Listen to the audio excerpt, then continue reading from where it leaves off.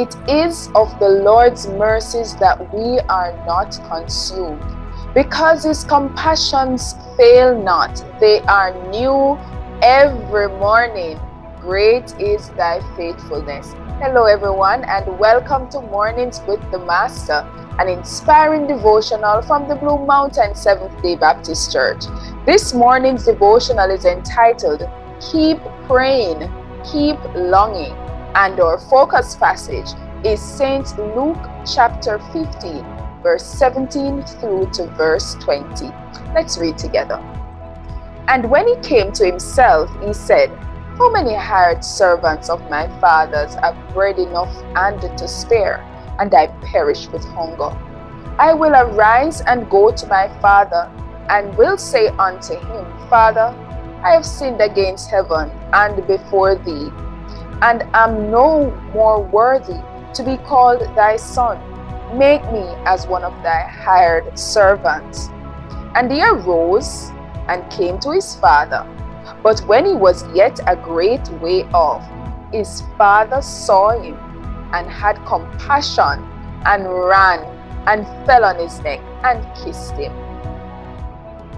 The story of the prodigal son is one that most if not all of us are familiar with. It is an interesting one with an exciting turn of events. While Jesus was teaching on the joy experience when an individual repents and is restored to Jehovah, he told the parable of the prodigal son. What could possibly be so interesting about this story? I mean, the younger of two brothers took his inheritance from his father, moved away from home, and lived a riotous life. He wasted all he had and started working meaningless jobs. Then realized the consequences of his actions and he returned to his father. That sounds pretty much like an everyday occurrence, and that assumption might very well be true. But what was remarkable was not the actions of the son, but rather those of the father. When the boy finally decided to return home, he rehearsed a moving speech for his father, as found in St. Luke 15, verse 17 and 18. I have sinned against heaven and you.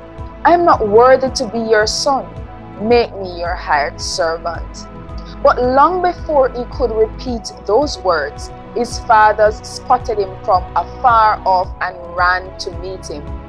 The father's expression of love showed a longing that so pure. The father must have been concerned about his son. He must have been heartbroken about him leaving. But yet there were no questions asked, no bad mouthing, no form of scorn or rejection. Instead, the father celebrated the son's return. He celebrated the one he thought was dead, the one he thought was lost. The father rejected the label the son wanted, that of a servant, and gave him something that was far better, that of a son. Can you imagine how Jehovah feels when we turn away from him? Can you imagine the joy he feels when one returns to him? Like this Father, he longs for us to return to him, waiting to receive us unto himself, disregarding what we think of ourselves and making us new creatures. Perhaps we are also like this Father, longing for our loved ones to return to Christ longing for them to connect with the Master. My encouragement for you is do not get weary. Keep praying. Keep mentioning their names in prayer before the Lord. One day, the celebration will begin. Or maybe you are like the son, tired of the way you are living and you've realized that what your Heavenly Father has in store for you is greater than what this world can offer. Maybe you are longing to return. You can make the first step. Like the prodigal son, come before Him with a repentant heart. Say, Lord, I have sinned against you. I know I'm not worthy to be considered your child, but I want to make a step in the new direction starting today. Please come into my heart as I submit my fears, plans, and control to you. A broken spirit and a contrite heart, those the Lord will not despise.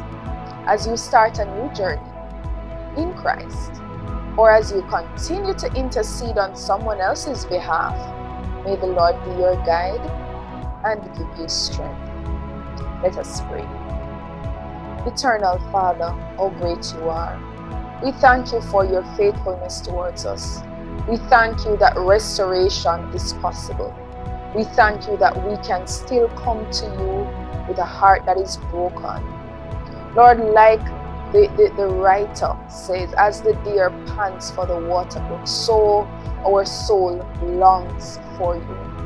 May we find you, mighty God, as we thirst, Lord. May we find you satisfying. Lord, may we find you as one who will give us hope.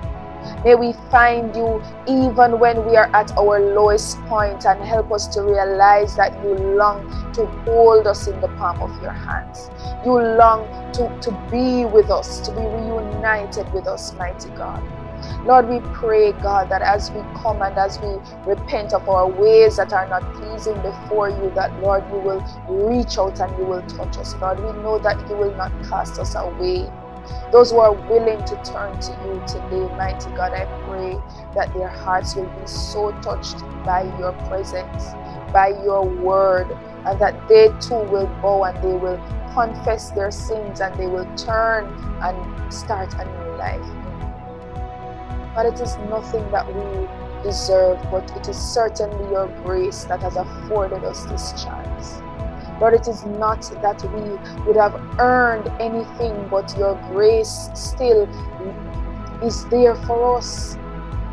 Master, we pray that as we as we put before you those who have not yet accepted you, or those who have accepted and have turned away from you, Lord, as we place them before you now, Lord, we pray that their lives, oh God, will not end without them accepting Lord, I pray, God, that they will be restored to the full.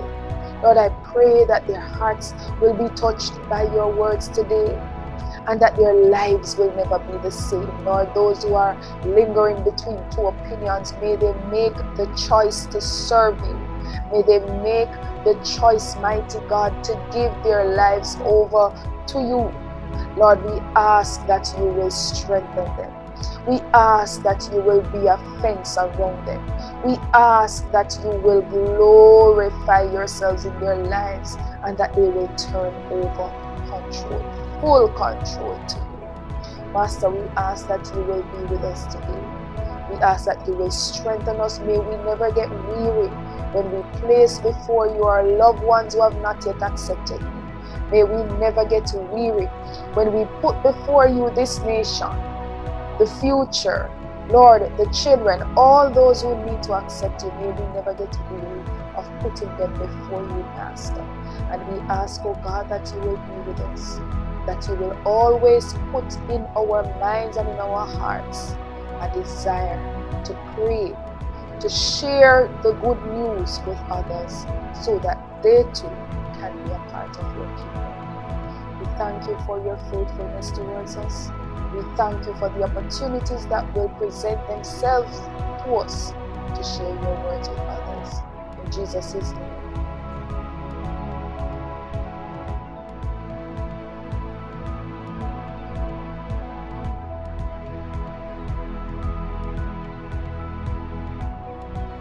I was blessed this morning to have spent this time reflecting on God's word with you in mornings with the Master. It is my prayer that you were inspired, that you were challenged, that you were lifted.